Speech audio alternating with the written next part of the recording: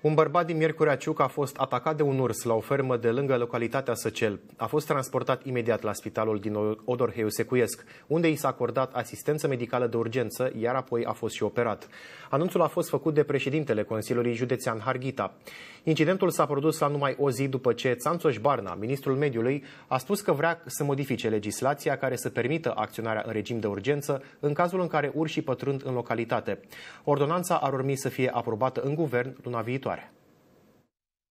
Cazul în care aceste atacuri se repetă și acest fenomen se generalizează la nivelul unei localități, intervenția trebuie să fie prin tranquilizare și relocare sau dacă ursul este agresiv și atacă, prin împușcare. Echipele de intervenție trebuie să fie formate din jandarmi care asigură ordinea publică și vânători, Ceaba Boioi, președintele Consiliului Județean din Harghita, spune că de acum doi ani a încercat să modifice legislația în acest sens, însă fără succes.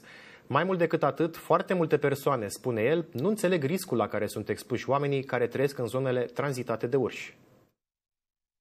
Este responsabilitatea și obligația statului ca cetățenii să fie protejați 80 și ceva la sută din populația țării care nu intră în contact cu această problemă care privește de la distanță, ei cu siguranță privesc diferit și de foarte multe ori nu înțeleg.